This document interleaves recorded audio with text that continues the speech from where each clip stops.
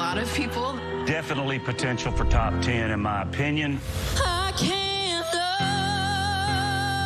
love you in the dark. It feels like oceans apart. You came out swinging. That's the way to come out of the chute, girl.